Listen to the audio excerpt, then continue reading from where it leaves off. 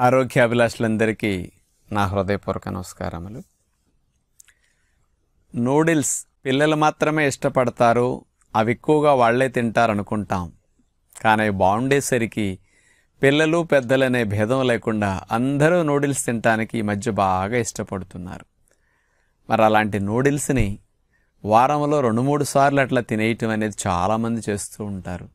ఇంకా కొంతమంది regular habit లాగా చేసేసుకుంటారు. మరి అలాంటి నూడిల్స్ నోటికి బెత్తడి నాలికి మంచి రుచినిస్తాయి.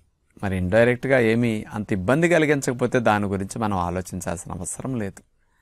ఈ రోజుల్లో ఎక్కువ మంది బాగా ఇష్టపడే ఈ ఫాస్ట్ ఫుడ్ నూడిల్స్ శరీరానికి ఏమేమి హాని కలిగిస్తుంటాయి? మరి వాటిలో ఉండే నిజాలు కొంచెం ఆలోచిద్దాం. ఈ నూడిల్స్ తయారు చేయడానికి నైంటీ పర్సెంట్ మైదా వాడతారు. అందులో మిగతా పర్సంటేజ్కి బియ్య పిండి కొంతమంది పొటాటో పౌడర్ అట్లా కొంతమంది స్వీట్ పొటాటో చిలకడదుంప పొడి కూడా వాడుతూ ఉంటారనమాట ఇవన్నీ కూడా కార్బోహైడ్రేట్ చాలా ఎక్కువ కలిగిన పదార్థాలు. ఎక్కువ కార్బోహైడ్రేట్స్ అవ్వటం వల్లే ఈ రోజుల్లో మనకి చాలా వెయిట్ కానీ షుగర్ కానీ cholesterol triglycerides bad cholesterol LDL ఇవన్నీ పెరిగిపోవటానికి కారణాలు వైట్ ఎక్కువ తినటం వల్ల. మరి ఇందులో చూస్తే క్యాలరీస్ చాలా ఎక్కువ ఉంటాయి. మరి ఈ గ్లూటెన్ బాగా ఉంటుంది. దీనివల్ల ప్రేగుల గోడలకు ఉండే రంధ్రాల విల్లి లాంటివి డ్యామేజ్ అయిపోతాయి. పోషకాలను గ్రహించుకునే శక్తిని కోల్పోతాయి. మరి ఇట్లాంటి ఎంటీ కార్బోహైడ్రేట్స్ తింటే బ్యాడ్ బ్యాక్టీరియాలు బాగా ప్రేగుల్లో పెరిగిపోతాయి. వీటి వల్ల ఇలాంటి నష్టం ప్రేగుల్లో వచ్చే అవకాశం ఉంటుంది. అందుకని కొంతమందికి ఈ నూడిల్స్ తినటం వల్ల ఇది ఫైబర్ ఏమి ఉండదు కదా. అందుకని కాన్స్టిపేషన్ డెవలప్ అవుతుంది. ప్రేగులు కాస్త క్లీన్ కావు. నిలవ ఉంటాయి. పర్మెంట్ అయ్యి గ్యాసెస్ని ఎక్కువ ప్రొడ్యూస్ చేస్తూ నూడిల్స్ తిన్నాక పొట్ట హెవీగా ఉండటానికి ఉబ్బటానికి కూడా ఈ రీజన్ ఉంటుందన్నమాట. మరి నూడిల్స్ వల్ల క్యాలరీస్ ఎక్కువ ఉంటాయి.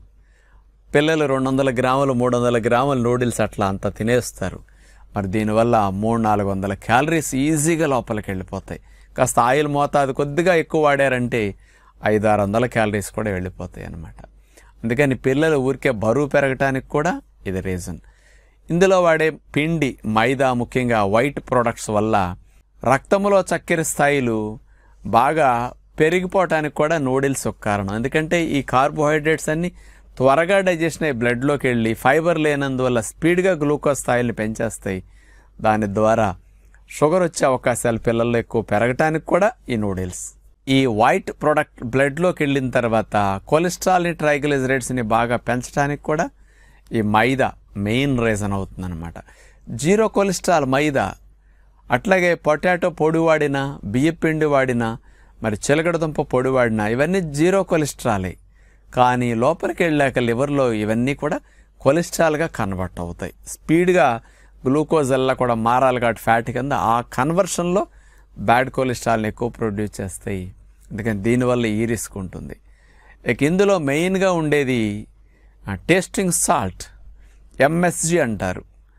ఇది మోనోసోడియం గ్లూటమేట్.